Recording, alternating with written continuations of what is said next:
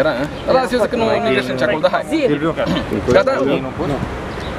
În cursul acestei zile, polițiștii au dispus reținerea pentru 24 de ore a unui bărbat de 42 de ani din comuna Moldovița, care la începutul săptămânii a săvârșit uh, mai multe infracțiuni pe raza localității, respectiv a aruncat cu pietre în direcția Mocăniței, care circula pe direcția Argel-Vatra Moldoviței, a distrus prin înțepare mai multe cauciucuri a unor turiști aflați în zonă, inclusiv în uh, Mocăniță, și a tulburat uh, grav ordinea și liniștea publică.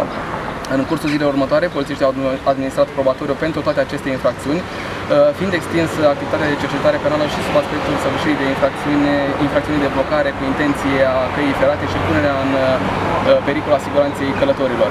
Toate aceste, uh, în baza acestor infracțiuni și a documentării infracțiunilor au fost emis un mandat de aducere în cursul zilei de 21 iunie suspectul sustrăgându-se acestui mandat și cercetărilor.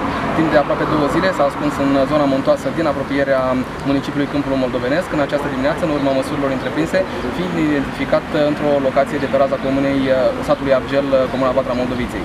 A fost condus la sediul poliției, arest, încătușat și ulterior reținut în baza ordonanței de reținere, la această oră fiind deja în arestul IPJ Suceava. Sunt continuate cercetările pentru a se stabili întreaga activitate infracțională, de asemenea, ținem să-i asigurăm încă o dată pe turiști pe această cale că polițiștii vor depune toate diligențele și vor face toate eforturile pentru ca aceștia să se simtă în siguranță pe raza județului Suceava.